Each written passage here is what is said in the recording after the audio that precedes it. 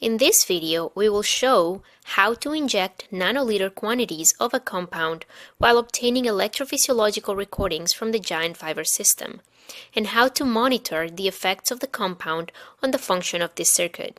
Before beginning this video, it is critical that you carefully watch and become familiar with the JoVE video titled Electrophysiological Recordings from the Giant Fiber Pathway of D-melanogaster from Augustin et al as the video presented here is intended as an expansion to this existing technique.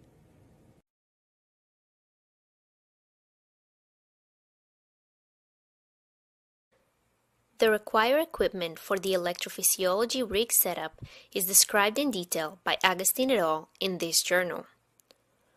Modify the previously described electrophysiology rig setup by adding a sixth micromanipulator which holds a nano injector.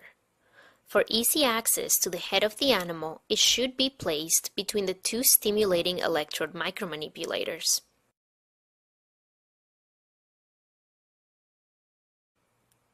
The nano injection setup requires a nanoliter 2000 or similar type of injector.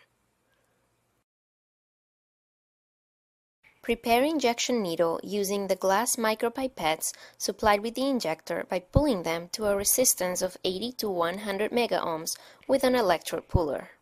For smooth injections, it is required to bevel the micropipettes to an 11 to 17 micrometer opening at a 45 degree angle.